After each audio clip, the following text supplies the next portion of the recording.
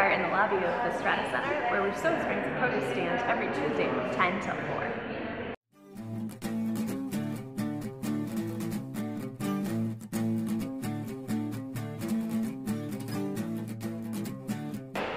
One of the great things about buying fresh produce is that you can plan your meals ahead of time to use all the fresh produce in your week, and then you are sure to eat a more balanced diet.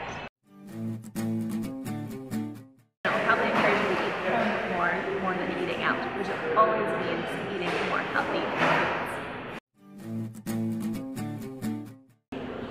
Fresh produce stands like this are generally speaking a more cost-effective alternative to going to the grocery store.